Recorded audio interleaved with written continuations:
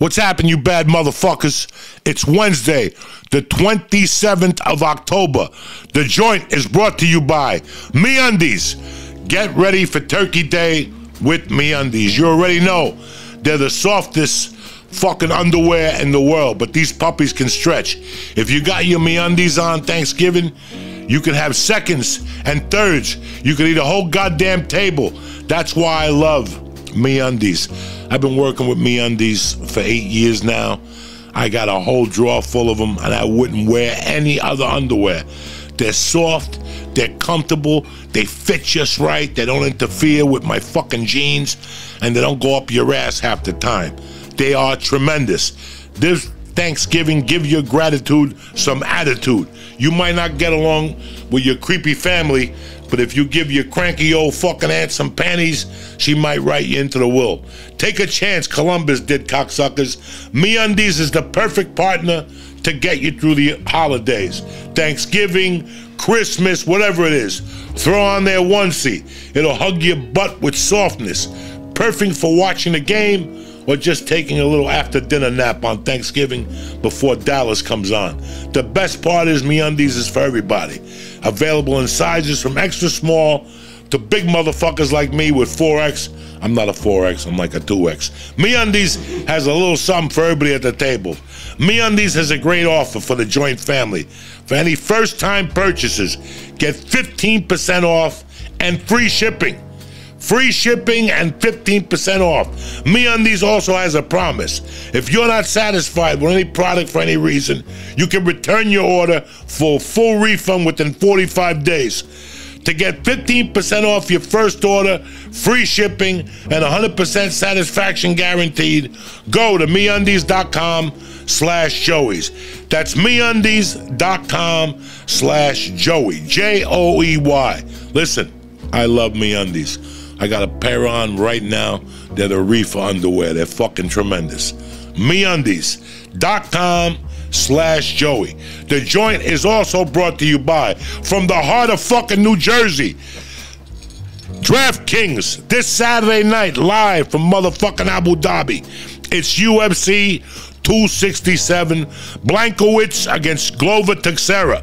Listen, DraftKings Sportsbook is the official sports betting partner of the UFC. They got a knockout offer for the title fight. You ready? If you're new to DraftKings, I got a deal for you. And if you're new, why you new? How come you're not here already? What the fuck is wrong with you? This is the weekend to get on board. I'm gonna tell you why. You got World Series, you got UFC, you got pro football, you got college basketball, you got pro basketball, college football, but you got a tremendous UFC card this week with UFC 267. And next week, November 6th, it's live from the Garden, cocksuckers. Tremendous. Five bucks on either fighter. If your guy wins, you get $200 in free bets. Will the champ hang on to his belt or will the veteran from Brazil snatch it from him? Who knows? Either way, you could just bet $5 and you could win 200 if your fighter wins. Listen to me. DraftKings is great. And I got to tell you something else. They got a social network on DraftKings. So once you go over to DraftKings, I'll be putting picks on there. You could see what I'm betting. I could see what you're betting. We'll be friends on DraftKings. And that'll get the party started for fucking real. DraftKings is safe, secure, and reliable. Best of all, you can withdraw your cash whenever the fuck you want. They got a tremendous casino. If I got five, ten minutes, I get the casino and I put a dollar. And you play blackjack. You play five hands. I don't know what I'm doing, but I'm fucking learning. You might as well have a good time, cocksucker. So do me a favor. Download the DraftKings Sportsbook app right fucking now. Use promo code Joey, J O E Y. Then you throw $5 on UFC 267 main event and win $200 in free bets if your fighter wins. It's that easy. That's code Joey, J O E Y. This Saturday at DraftKings, and next Saturday, there's a tremendous UFC card, and the UFC and DraftKings will be there for you. Remember, must be 21 or older. New Jersey, Indiana, Pennsylvania, Colorado, Tennessee, and I also want to thank, I want to welcome Connecticut. If you're from Connecticut, you got DraftKings coming at you. New customers only. You got to deposit $5. That's it A minimum wager is required of $1. $5 deposit, $1 to pick up $200 in free bets. The bad news is you only get one per customer. Restrictions apply. See DraftKings.com slash sportsbook for details. Now, if you got a gambling problem, call 1-800-GAMBLE. I don't want no fucking people here calling me up going, Joey, you fucked me, I'm down 10000 No, that can't happen on DraftKings. They're safe, reliable, and secure. You can't bet over your head, and it's fucking fun. You got the social network. You got football, basketball, UFC, NBA, NBA. That. Download the DraftKings Sportsbook app. Bet a dollar on a fighter. Bet five dollars for the main event, and if it wins, it wins two hundred dollars in free bets. All right. Call 1 800 Gambler if you got a problem. If not, let's get this party started. Download the DraftKings Sportsbook app and let's win some motherfucking money. The joint is also brought to you by Come on, guys. CBD Lion. I'll tell you, part of my therapy has been the CBD Lion. I put the 1500 milligram tincture under my tongue. Holy shit. It's like I go to acupuncture every day. I feel fucking great. Listen to me. I don't know if CBD could help you, but go look, check, read. CBD, CBN, CBY. CBN, you fucking sleep like a baby. CBD, it calms you down, it helps with pain relief. CBD Lion makes it for easier for you to get CBD, whether it's the vapor pen, the reefer, the kinesiology tape, the bat balls, the extra strength cream, the, the gummy bears, which are fucking fantastic. Listen, I can't tell you all the great things about CBD Lion. They've carried me through the last two years and also helped me through a surgery and also, also helped me through a little mental fucking burp I had there. CBD Lion is the best CBD available in the market. You're asking questions to some fucking kid who never had a fucking problem. CBD Lion is tremendous. Go to their website, cbdlion.com. Read, read the third party lab results. If there's something you don't know about CBD, you'll know it after you read the third party lab results. See what CBD, CBN, and CBY could do for you. Go to cbdlion.com right now.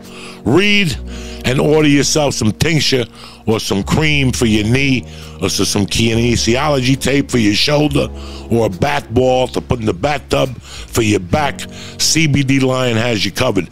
Pressing code Joey or Joint and get 20% off the product delivered right to your house.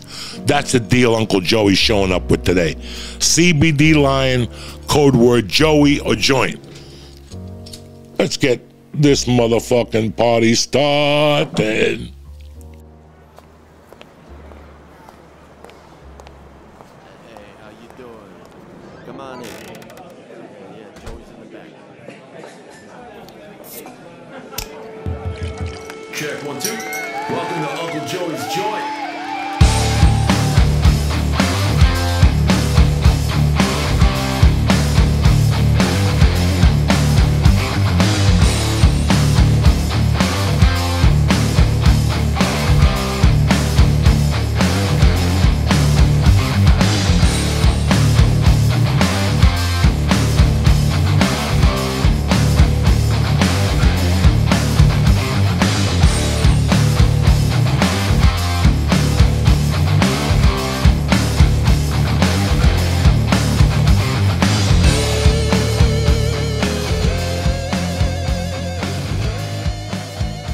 What's happening, you bad motherfuckers? It's Wednesday, the 27th of the month, Halloween week. I love this fucking week. I've always loved this week. I mean, listen, it's not like I'm gonna go fucking trick or treating or whatever. I eat like a bag of M&Ms. That's it. You know, lately that's how I fall asleep because at night when I go upstairs, I go, I stop in the spare bedroom, and I get the cat. She's out cold in there, laying down I need my little service cat, so I go in there and get Gray. And when I'm going to get her, what I do is I turn the light on, but there's a ceiling fan. If you turn the ceiling fan on, she don't like it. She's scared of that fucking ceiling fan. She just keeps looking at the ceiling fan the whole time when you turn it on. So I'll stop by the by the office, and my wife had all. My wife's doing trunk or treat, you know, where you get your cars and you put them in a parking lot. And the kids come from trunk to trunk. So they, they're fucking her and my daughter upstairs fucking filling bags up of candy. So for the, I swear to God, like maybe not last week, but maybe the week before, for like three nights in a row, I would go upstairs and get the cat, and I would look on the bed, and there'd be a bag of M and M's, those little little tiny bags, those little snack bags, like eight M and M's in them. I'd fucking open those things up right as I'm going to bed, and I'd put them in my mouth as I'm walking to piss before I go to bed. And I'd lay in bed for 10 minutes. I get a little sugar buzz, but what comes up must go down. That's the best sleeping pill there is. Fucking nine or ten M and M's. I was sleeping like a fucking baby, dog. Just grabbing some M and M's and hitting the fucking crib and ba boom. That's how you sleep. So, no, it's true. You get that little sugar buzz, and next thing you know, I'm waking up at five in the morning, going, "Fuck! I passed out. I ate those nine fucking M and M's." I'm fucking out of it, Jack. Great week so far. Shitty day yesterday. Fucking World Series last night. Tremendous. I love. Listen, I love this time of the year. I love the weather is nice. I, I tell you, when it comes to Jersey, New York, the East Coast, listen to me. I don't know. Boston gets a little colder. I got to be honest with you. The best months to be here are April and May and fucking September and October. The summer sucked this summer. We got rain every weekend. We got rain during the week. Fucking September 1st came and it was beautiful. It was 60 to 80 every fucking day. Sun shining, hotter than fuck. You could look, I walked around with a fucking tan. I just sit out there 10, 15 minutes a fucking day. Uh, it's been a gorgeous fucking month. The, the leaves are starting to change. You know, this time of the year is fucking great. There's only one thing that gets to me around now. Once I see the Halloween commercials, like once October 15th comes, I start getting a little sad, man. It's weird because I keep my composure pretty much. I think I, I broke down on here one time in February when it was Ralphie May. I was taking those pain pills and I was all fucked up. But it's weird. I don't really get down about things. Like I get down. Like I got down a couple weeks ago when it was Ralphie's anniversary on October 6th. When I say get down, I mean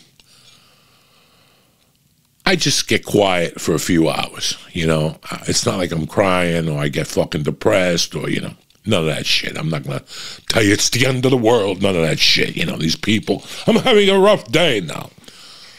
This shit, this makes me think. It just makes me think. Like this time of the year makes me think because uh, November 8th, not this Monday coming, this Monday coming is November 1st. But the following Monday is November 8th, and that's my mother's 42nd death anniversary. 42 fucking years. Now I sit here sometimes and I say to myself, what the fuck happened? Like, how the fuck did I live 58 years already? 58. I'm 50 fucking 8. I was just 21. I was just 27. I was just 33. I was just 44. I was 50. And then one day you're fucking 58. You don't, that's, that's the, those are the denominations I remember. I'm not going to lie to you guys. I remember when I'm 21, when I'm 25, I went to jail. When I'm 33, I got into comedy. I remember that.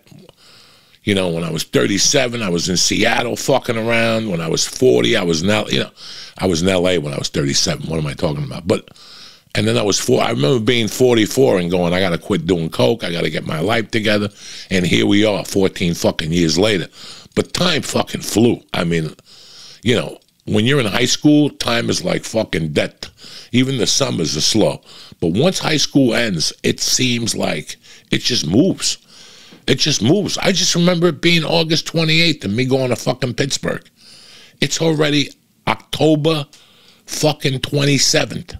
I was just in Pittsburgh two fucking months ago. Those two months just flew fucking by. I still remember going, wow, in three months, the many saints are coming out.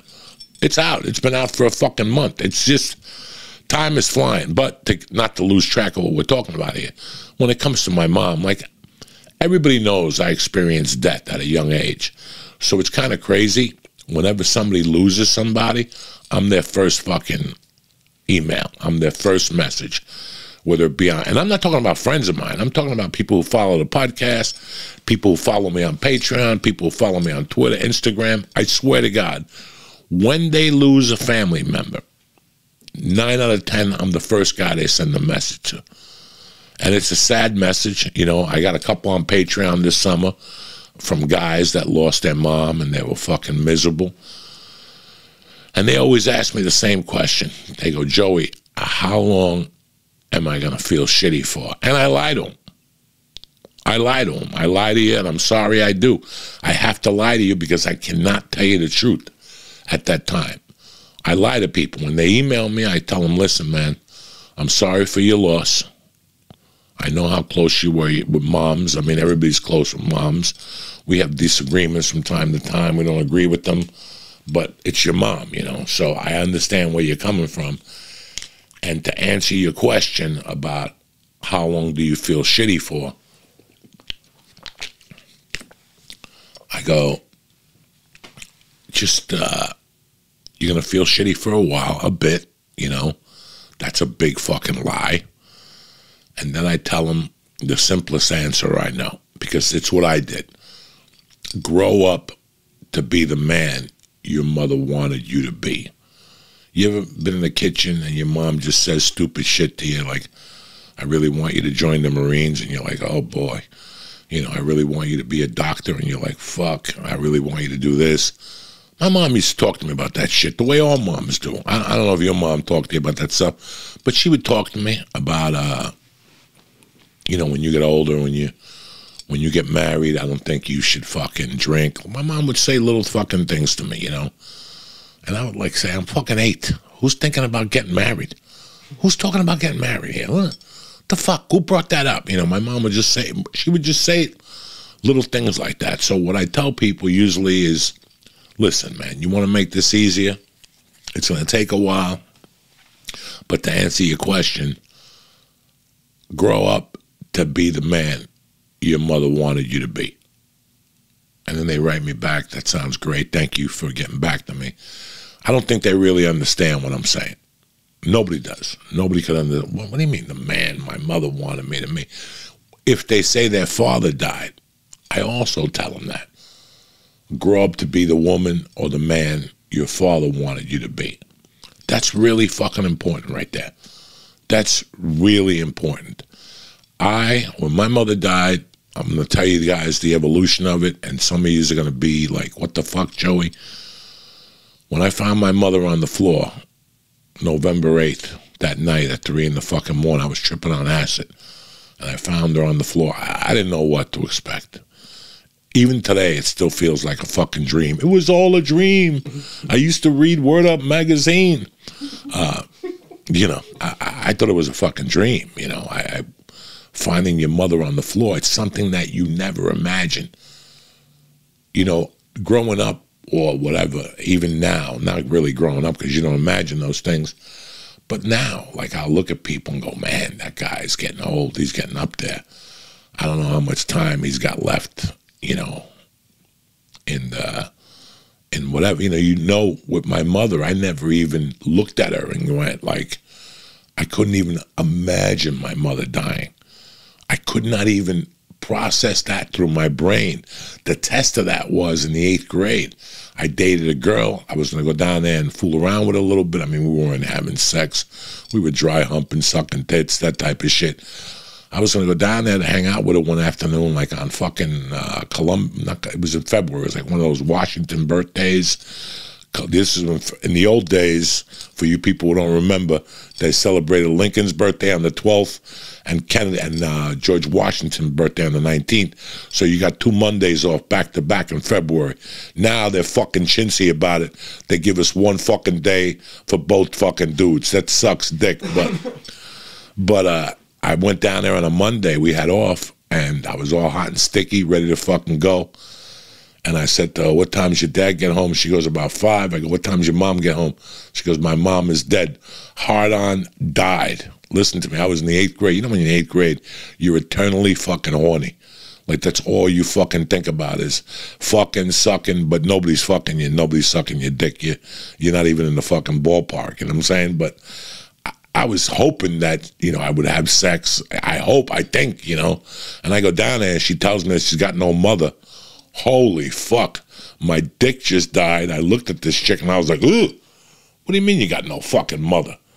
And she's like, My mother died when I was a little girl. In the back of my mind, I'm like, What could you have done in your previous life to lose your fucking mother? That was like fucking unheard of to me that your mother died. I didn't think moms died. I thought moms died when you turned 50 or something, when you could handle it. But for your mom, just, I swear to God, for your mom just to die like that, just die, I never even thought of that was possible. I never thought that was possible. I dumped that girl. When I walked out of that fucking apartment that February 12th, that Monday at 2 in the afternoon, I never fucking saw her again. She kept calling me. It took me about a week to say, listen, I can't see you no more because I'm going away for basketball camp and I'll be training for freshman summer ball and all this shit. And she's like, what are you talking about? You live three miles away. And I'm like, yeah, but I'm just going to be, I did not want, she called me crying. She was upset. I did not give a fuck. I was not hanging around with somebody who didn't have a mom. That is not going to happen in my realm. So what happens two years later? I lose my fucking mom. So the first person that came to mind when I saw my mom on the floor with that purple fucking arm was Colleen. That was her name, Colleen. I'll never forget it. In fact, I've even, you know how many times I've gone on Facebook, found her, and I want to send her a message to apologize for my behavior in 1978, and I can't. I can't. I was, I was, I was a fucking jerk off to her. You know, at least I, and I wasn't mean to her or anything. I just stopped talking to her. I just couldn't even deal with a person that didn't have a mother. I was like, this is terrible. You know, this is like Satan's cousin or some shit. She don't have a fucking mother. I can't deal with her. So I thought I even go on Facebook now. She lives in Ramsey, New Jersey, or something like that. I found her. She's still a fucking knockout. But I, I mean, for the five years, for like ten years, I've been trying to apologize to her, and I just can't. So when I found my mom, I mean, I was numb. When, when somebody dies, you're in shock. Your body goes into shock. You don't know it. You don't feel it. You don't feel it coming over you, but your body's in fucking shock. Your mental's in shock. I remember the next day I went to fucking school. In fact, that's what really made me think about my mom because it's it was I took Mercy last Monday to the baking class. And as I was going in, they said, Remember the state fucking uh, whatever the teachers convention no school november 5th 4th and 5th and i'm like fuck. And that was the week my mother died. My mother's anniversary is really the 8th but she really no, she died on a tuesday night and that that's the week that you have school on monday and wednesday but you're off tuesday thursday and friday. So when i found my mom on tuesday night I, dog i went to school I didn't know what to do. I couldn't sit along with my fucking thoughts in a house that I was fucking scared of as it was, a haunted fucking house. So I just got up and went to fucking school. I didn't know what to do. And then one of the teachers saw me and he goes, Didn't your mom die last night? And I'm like, Yeah. And he goes, What the fuck are you doing here? I go, What, what are my options? What are you going to do? Sit at home and wait? And they go, No, we got to take you home. You can't be it. So they drove me to fuck home.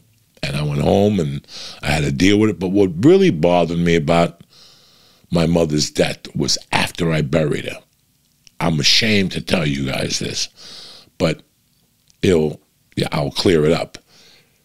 For 45 days, I didn't feel nothing. We buried my mom like on the 12th or the 13th.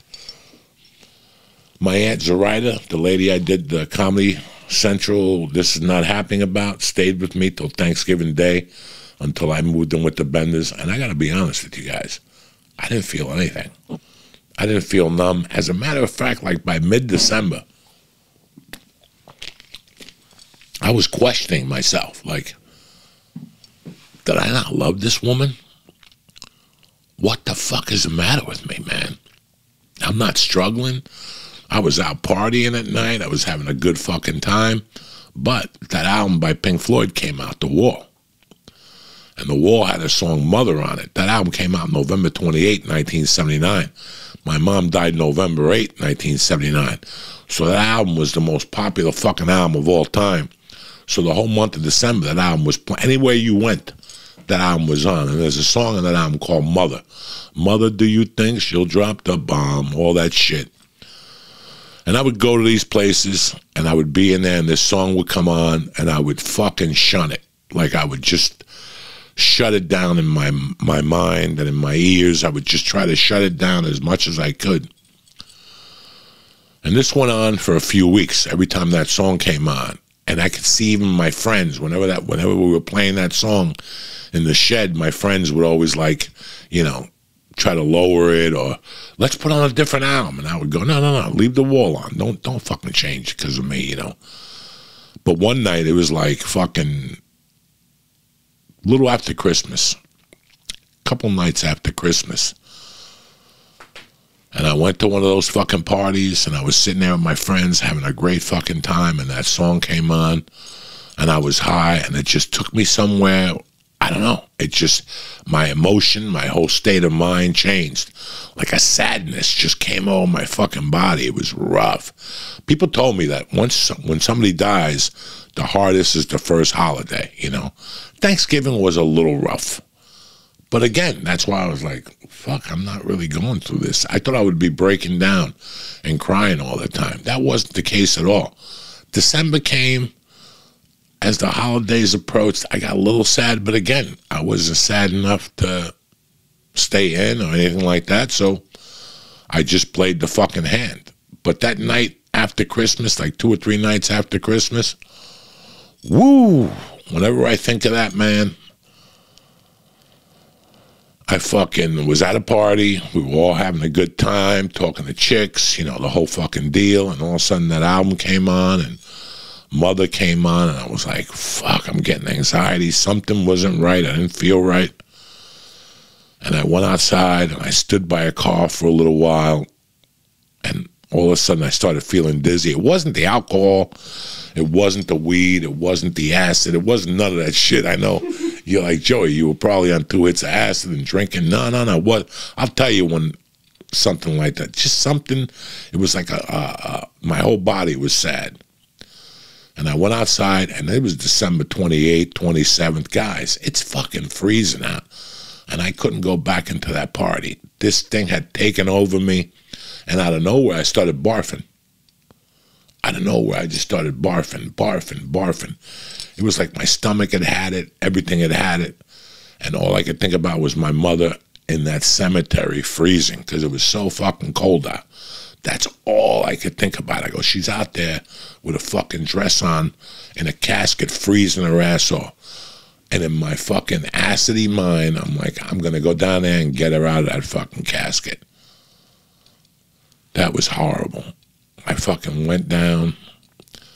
You know, there was, there was a, a fence, you know, outside the cemetery, and I knew the post that lined up with her grave, you know, with her gravestone. I already knew the post because when I would walk to school, I would stop and just look at the grave for a few minutes just to make sure she was dead. At this point, 45 days later, my mind was telling me she wasn't dead. It was fucking horrible. So I'll never forget that I fucking jumped the fence and I had gloves on and I go, you know what? I don't have a fucking shovel. I have nothing. I found like a fucking twig and I started digging up the fucking body, like not digging it up. I was like scraping the dirt. The ground was frozen. I wasn't going to get nowhere. After about 20, 30 fucking minutes, I started scraping that fucking ground, scraping it, scraping it. And I'm like, you know what? This is fucking crazy. And there was something else going on that I need to tell you. This is how fucking crazy the mind is. At her wake, everybody kept putting little bindles of cocaine in her casket. I stopped counting like at 20. There must have been an ounce of coke in little aluminum foils in that casket. I was also going to break into the casket and try to steal the fucking coke too. That's don't don't get me wrong here. Don't think that I'm a fucking angel. Oh, Joe, he's going to dig up his mother because he missed her. No, there was cocaine in that casket. That's what else I was fucking thinking about. You know, I'm a dirty bastard. But the beautiful thing was that while I was digging the fucking, while I was trying to dig the grave, I caught myself. And I was like, what the fuck is going on here? And I remember that like it was yesterday, me just like straightening out and going, God, just fucking take me. You know, I don't think I could do this anymore. And I lay there for a couple minutes. It was fucking freezing out. And I go, you know what? She's not even in this fucking grave. That's how demented I was. I was like, she's home. And I got out of the fucking cemetery and I walked straight to my fucking Given that terrace And I'll never forget making that left turn on the corner and looking at my house, and the lights were all turned off. I was like, fuck. So I walked up to the house. I had the keys to the house, but I was too scared to open the door. So I just rang the doorbell. I must have rang the doorbell 50 fucking times. And I kept telling the ma, open up the door. She was fucking dead. I saw her at the funeral parlor. I saw her in a fucking casket. I saw them close the casket. I saw them do the math, the mass, the math. I saw them do the mass and I saw them put her on the fucking ground. I actually personally picked up a shovel and threw dirt on her and threw a rose on top of her. And my mind still couldn't believe that she was fucking dead. That's insane to me. When I think of that, it just makes me fucking sad as fuck. You know, the last year, I struggled a lot with my mental health, with the withdrawals. I was just fucking going nuts. And uh, I thought about, like, when was the last time I struggled like this? And it was then. I couldn't get it together. You know, the reason why I write a journal for my daughter and I give them to my wife and I tell my wife, I go, listen, I'm going to probably have 10 journals. I don't know when I'm going to die. I mean, that's that's a thousand dollar question. I don't know when the fuck I'm going to die, but I don't know how many journals I'm going to have for her. But as soon as I die and as soon as you bury me, you have to give her these journals because I don't want her to lose it the way I lost it. You know, as children, we all have questions. You know, when you lose a parent, we, we forgot to ask them certain questions. You know, I was 16 when my mother died. When I was a kid, I asked questions, but once I turned the, uh, once I became a teenager, I never asked any fucking questions. What do I give a fuck? I'm trying to get my dick sucked. I'm trying to fucking figure out how to get my dick sucked. I don't give a fuck about where my grandmother was born or where my my father went to school and all that shit. I didn't give a fuck about that. But that was part of my torment. That's what drove me to snort coke. That's what drove me to fuck. I mean, when I got back to New Jersey last year, I, you know, I was scared of COVID. We all were, you know, we were cautious of COVID. But I also had a little fear in my heart of coming back here for all the things I had done. You know, I really let my friends down. I let myself down. I let a lot of people down. I did some fucking bad shit before I left here in 83, 85. And when I got back here, I remembered a lot of those things. Like it came up to my mind and it affected me a little bit. It affected who I talked to. I just wanted to make sure that there was no bad blood. I didn't want any beefs or anybody. You know, I was coming back here for 20 years, just a weekend or two weekends a year. I knew it was going to be different when I moved back here. So I thought about all the bad things I had done, and I couldn't believe I, that that was me. And I'm going to tell you something. I would love to be able to blame it on cocaine. You know, everybody blames shit on cocaine. And there's a lot of things I blame on cocaine because now I realize that it was the cocaine that made me do it. I didn't have those things in my heart. It wasn't in my heart to kidnap somebody. It wasn't, that's never been in my heart to throw somebody in the trunk of a car. And it's never been in my heart to steal something. I always hated stealing something. Don't get me wrong. I love shoplifting lighters from time to time from 7-Eleven. You know what I'm saying? Everybody likes to steal a good lighter. But my, I was never a fucking thief, guys. I never dreamed of robbing a jewelry store or robbing the amount of houses or robbing the businesses and the drug dealers I did. I'm very ashamed of what I did. But I got to be honest with you, I was out of my head at the time. I was a 17 year old kid who had just lost his fucking mother. I didn't know whether I was coming or going. You guys know me for years. You guys know I'm not a big guy for making fucking excuses. But this is an excuse I have to make because it's the truth. And I just realized that recently. I realized that maybe six months ago when I was journaling that the things I had done weren't from the heart of Joey Diaz. It was from the heart of the cocaine. The cocaine just had me fucking crazy. I didn't know that. I would never blame anything on cocaine. You guys know that when I kidnapped Ken Vella, the attorney even said to me, hey, you went to the dentist this morning, they put you on the nitrous oxide. I can maybe get you a fucking a different case, maybe get the charges dropped. You didn't know what you were doing. And I said, no, I knew what I was doing.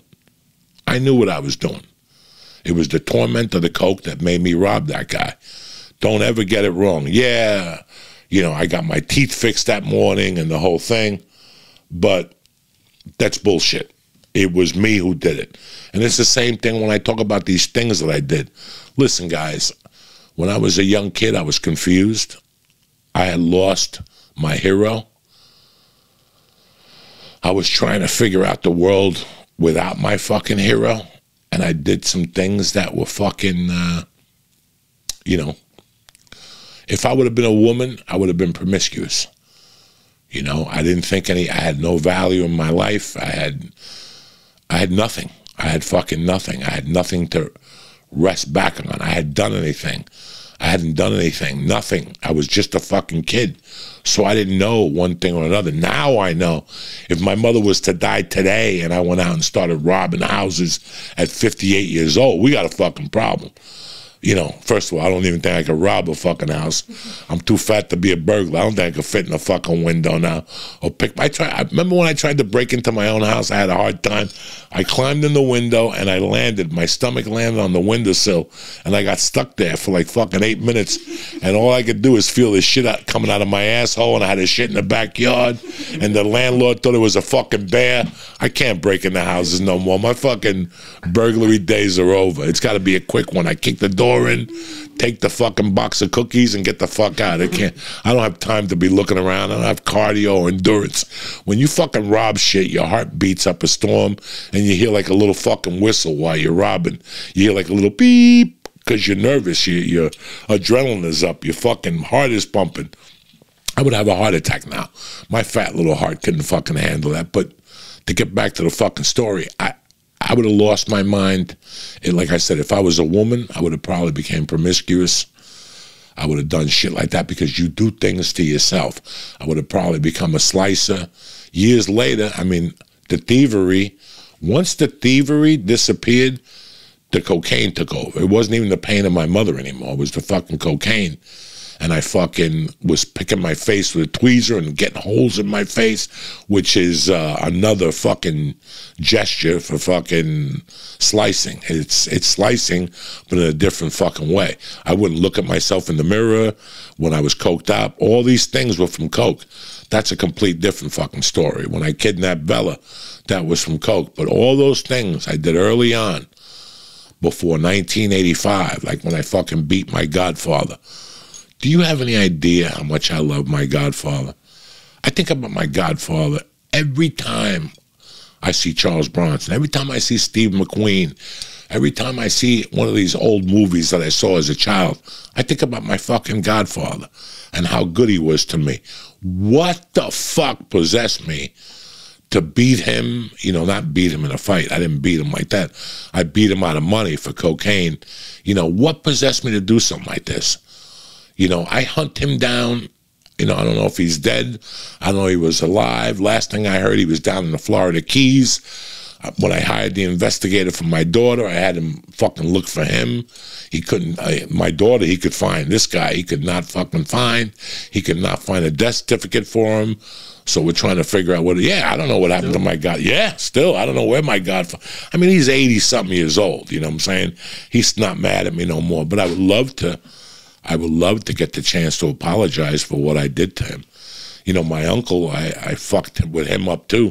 Thank God we have a great relationship today. I was man enough to fucking go down there, shake his hand, apologize to him. I have no problems with apologizing. Right now, what I'm trying to get to the root of the matter is why I did it. And that's why I did it. My mother's death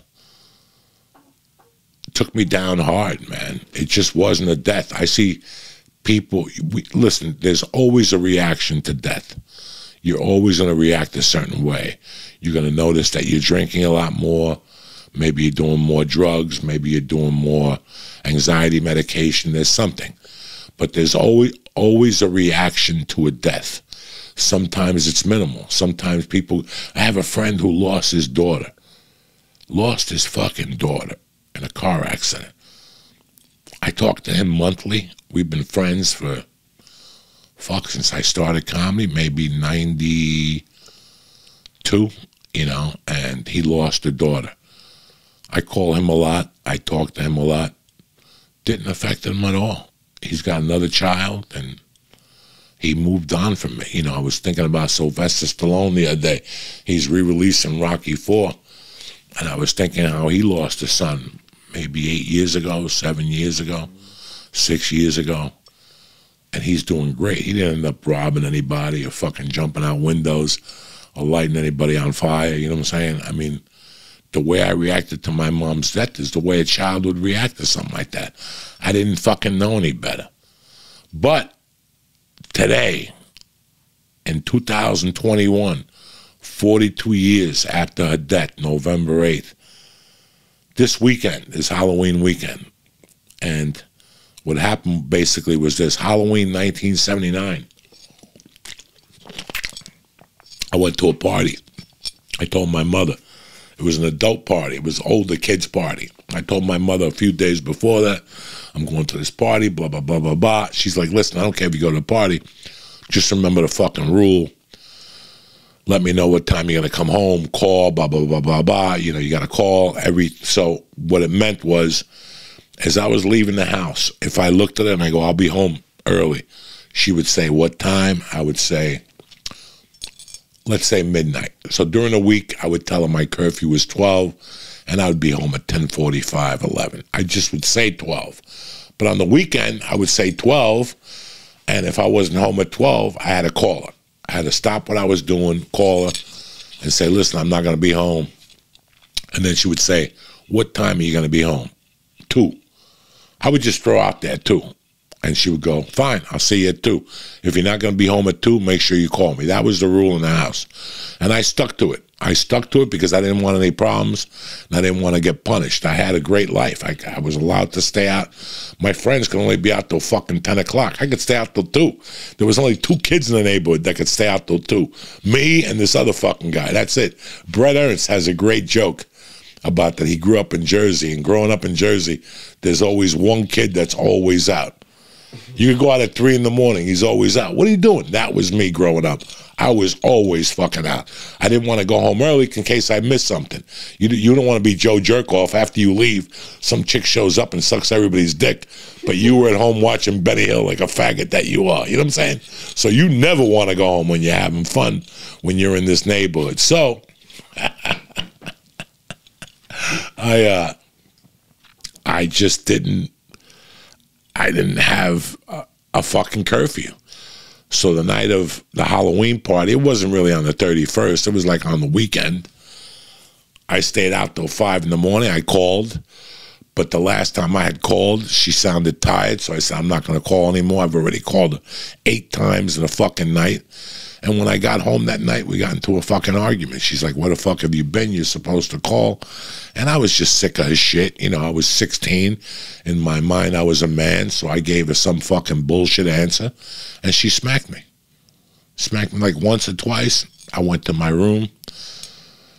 I could tell that she had a lot in her on her mind, my mom, at that time. She was broke. She lost her business. She was struggling. I, on the other hand, I was making money. I was selling drugs. I hit the number. I was helping her out with dough. And she came up the next morning and she uh, woke me up and apologized. And she said something to me that stayed with me the whole fucking time. And it, I heard it right after I thought about Colleen's mother. My mother said, Listen, I really don't give a fuck what you do. I just, the only thing that's important to me is that you grow up to be a man. Now she had said this to me a couple times over the year, over the years, but but, but this time it sounded, um, this time it sounded real and it sounded different. Like after it was all over, and when I was out that day, I thought about it. I, go, I can't believe my mother told me to grow up to be a fucking man. And by man, she doesn't mean a guy that's getting his dick sucked and fucking. She just, um, you, you, to understand my, my, mother was a big woman lady. Like she wasn't a feminist or whatever these fucking crazy women are today. She just backed women, you know. Like my mother raised me to be fucking tight with women. So she would mention to me little things that I had to do. As you know, she would just say to me, "When you get older and you're married, You gotta do this for your wife. You gotta do. And I would look at her like, who the fuck is getting married? You know, like I would always say those things to her, but she was preparing me. She was telling me little things. And after she died, like that day when I that night when I found her on the floor and I looked at her, and I'm like, yeah, fuck, I can't believe I was not friends with Colleen anymore because she didn't have a mother. Now I'm the same person. I also said, fuck. She wanted me to grow up to be a man. Now I understand what it is. And after the fucking ambulance took her that night, I sat on my steps for maybe an hour and a half thinking of those words. And part of the reason I was cutting myself all those years, part of the reason I was doing the drugs, part of the reason I wasn't happy was because I wasn't a man. November 15th, 2007, that's the day I stopped snorting cocaine. And that was the day I was officially on my way to becoming a man. And after I got my head clear, like after 60 days and stuff, I didn't go to AA. I didn't use AA to stay clean or NA to stay clean. They would have been a great option. I didn't use them not because I didn't want to, because I used my mother's words as my therapy. All those things she had said to me over the years, you know, whether it was grow up to be a man, you know, when you take the garbage out for your wife. No woman wants to come home and see her husband sitting on a couch watching TV. My my wife, my my wife, my mom would just say little things to me, like little things, like, "Listen, your wife doesn't want you to clean the house, but she appreciates if you clean your toilet." You know, my mother taught me to clean the bathroom, so I would clean the toilets. And today, from time to time, I clean the toilets. I take the garbage out for my wife. I support my wife. I, I'm a father to my daughter. You know, when I make a mistake, I cop up to it. Hey, I made a mistake. What do you want from me? These are all the traits of a man. This is what a man is supposed to do. The bigger the man, the bigger the mistake. You know, apologize, fucking stick to your word. You know, when you write your goals, stick to your fucking goals. You know, I was telling somebody that I've been tapering for the last six months. Nobody's watching me. I'm not part of a program. I'm not involved with a rehab or anything like that. I can do whatever the fuck I want. I have not missed it one time. You know why? Because I finally became a man. And I became a man fucking late, guys. I became a man at the age of 49, at the age of 50 was when everything came to my mind for me that I was prepared to be a man. I was not a man before that. I was just a fucking big kid. And I'm a big kid now. I laugh at farts and I scratch my nuts and sniff my fingers and all that dumb shit. But in the big picture, I'm a man. And that's what I'm very thankful for. Like for me to bust through this fucking thing I was going through, you know, even like the other day, I was talking on a podcast about better help with therapy. All this has helped me, but my therapy was made easier because I knew that I had accomplished my mom's dreams for me. Sometimes we achieve our goals, and I achieved my goals. I hit the spot. I, I did more than what I anticipated I was going to fucking do, and that's okay. But there was one other thing I had to do until for me to be happy. And that was become a man under my mom's standards were for being a man. And I reached it. And for that today, I'm proud. So I want to dedicate today's Uncle Joey's joint to Denora Valdez, my mother, because for the first time in my life, I could look at the pictures and be happy. And I'm going to tell you something else. I don't care if you people think I'm crazy. I don't care if you people think I'm out of my fucking mind. The last year, every night, I don't do it every night. I do it maybe four or five nights a week. I turn the TV off. Before I go upstairs, I got a picture of my mother in the basement. I got a picture of my father. I sit on my chair and I just have a conversation with them. As crazy as it sounds. I thank her for giving me those words for me to become a man and I thank my father. I tell him to look after my child. I tell him to look after my wife. I tell him to look after me, and I and I tell him I love him. I do that four or five nights a week to myself. Sometimes out loud, sometimes to myself. I like to do it out loud so I hear the words. So it makes me feel better. It brings me comfort. So today's podcast is dedicated to Denora Valdez. She's going to be dead 42 fucking years. And I still miss her like she died fucking yesterday. I still love her as much as I do. So when you reach out to me with a message about somebody in your family died, your mom or your dad, I'm going to lie to you. But I want you to understand that it never goes away. The pain never goes away. The thinking about them never goes away. Missing their food never goes away. Missing their smell, the way their hair smells, or, it never goes away. And guess what? That's good because they're not dead. Do you follow me? They're dead when you don't stop thinking about them. But every time you think about them and go, Mom, thank you for today. Dad, thank you for today. You know, all those things, you're keeping them alive. They're not dead, they're still alive in your heart. So I don't know what you do to make uh, yourself feel better when you think about a grandmother or grandfather. I know there was a lot of loss with the pandemic the last two years. I know a lot of people suffered. So I hope these words help you, these words comfort you. I haven't done one of these podcasts in a while. I'm sorry I didn't have a guest today, but I wanted to do this podcast with my mom. I'd been thinking about it for a week, and I was starting to go into it on Monday's podcast, and I was like, nah, I'm not ready yet. And today I was ready. So we'll have a guest uh, next Wednesday for November. I'll uh, light a candle for her on November 8th, two Mondays from yesterday. And that's it. Guys, the pain never goes away. All you could do is be a better person to make them happy so you could be happy about the transition. I don't feel bad about my mother no more. Like there was a time I felt shitty because I wasn't living the life she wanted me to live.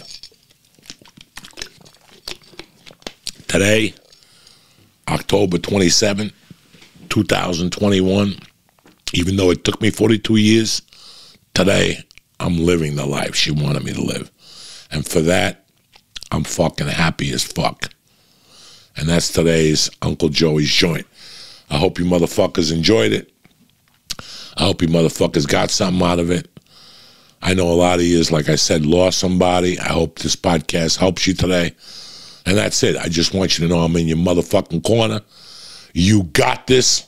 And if you didn't get one of those laughing gas blunts yet, you're fucking slipping, cocksuckers. Because that'll help you get through the pain too. I don't know if I was telling Mike, for you guys that don't know, that laughing gas blunt has an eighth of weed in it. It's got an eighth of fucking weed in it. I want you guys to know, you fuck with that blunt, you're gonna fucking end up on the losing side of that fucking blunt. Mm-hmm. I'm just letting you know right now so you know.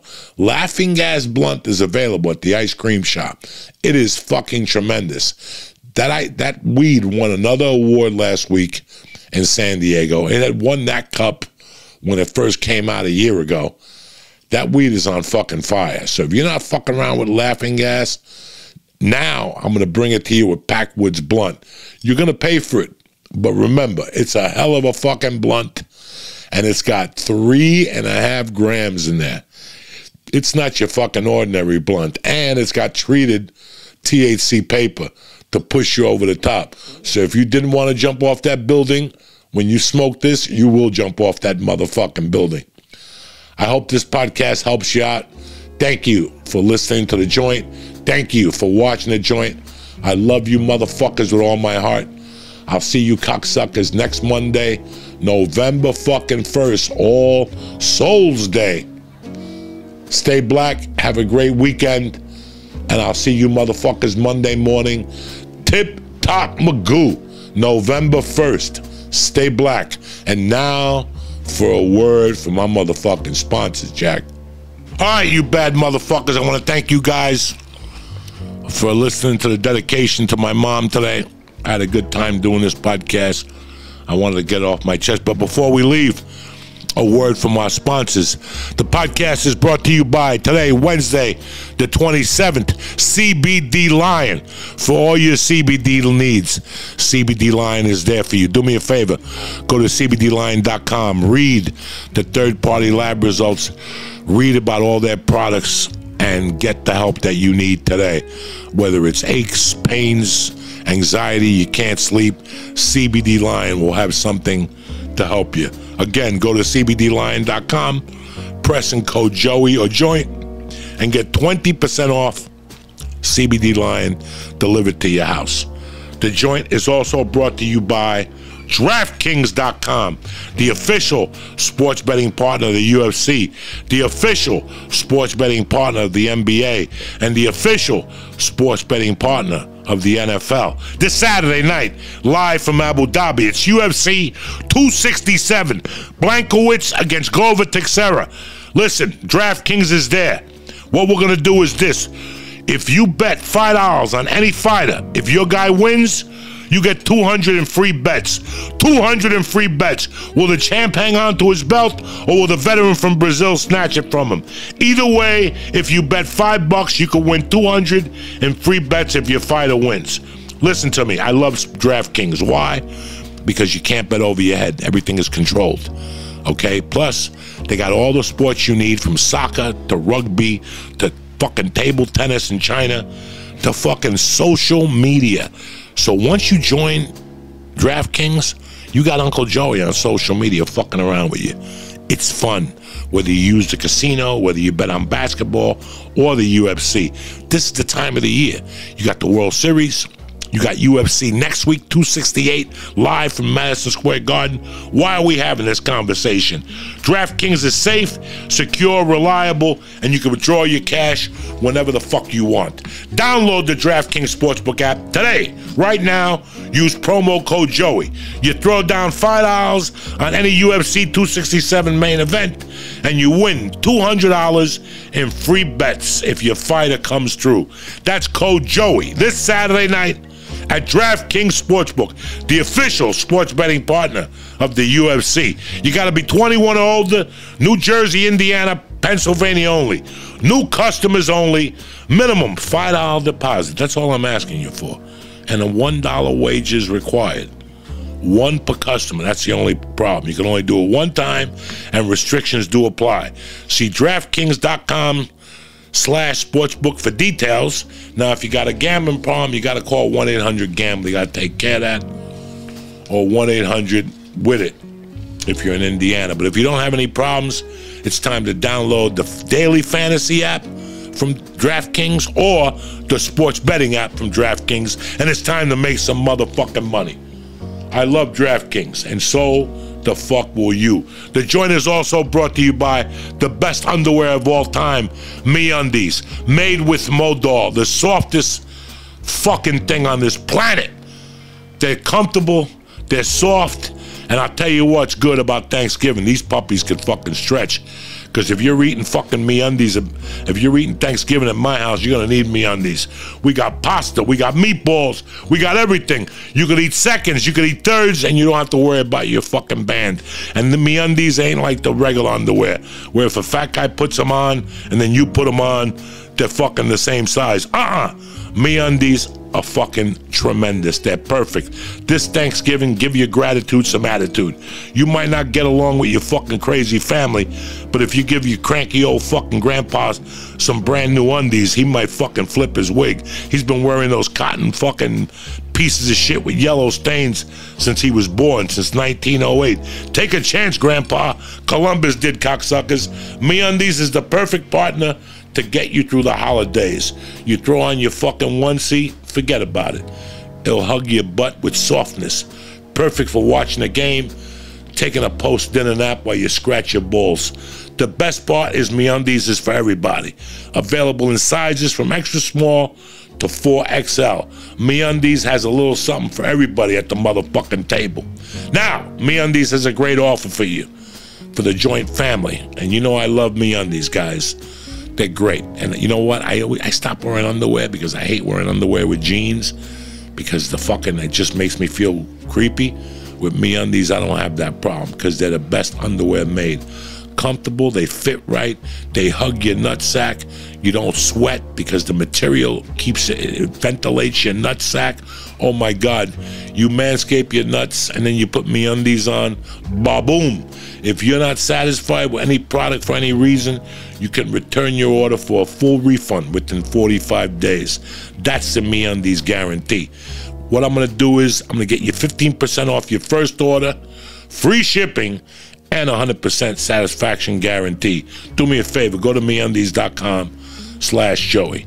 Meundies.com slash Joey. That's meundies.com slash Joey. The best underwear in the business. Comfort, and it just hugs your nuts, nug sack. Magnifique. I want to thank MeUndies. I want to thank Onnit. I want to thank CBD Lion. I want to thank DraftKings. And who else do I have to thank here? I don't even know. Oh, BetterHelp. I want to thank all you guys for sponsoring the show this week. They're five tremendous fucking sponsors. I love these companies. And I love you motherfuckers too. Have a great weekend. And I'll see you cocksuckers Monday morning. Tip top motherfucking Magoo. I love you guys. Stay black.